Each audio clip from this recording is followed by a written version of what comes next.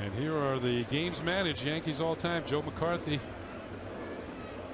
And Joe Torre, Casey Stengel, Miller Huggins, Ralph Houk. Everybody Joe about okay, McCarthy, Joe Torre going into the Hall of Fame, Casey Stengel, Miller. Huggins. I mean, a lot of Hall of Famers on that list. Well, Huh? many games that the Yankees have won over the years, and all the great players who provided those victories. Joe Girardi, of course, 2009 world champion.